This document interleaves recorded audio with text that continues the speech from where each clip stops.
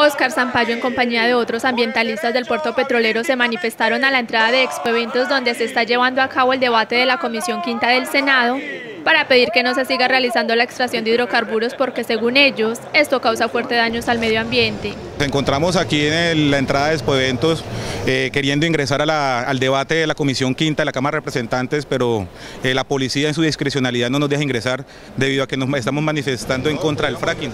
Nosotros en el Magdalena Medio nos preocupa la dictadura, mineroenergética que se está imponiendo desde la Corte Constitucional, desde el alto gobierno y la voz tiene que ser escuchada. Ya están restringiendo las consultas populares, ahora nos quieren amordazar para decirle que los impactos y las contaminaciones de este tipo de técnicas.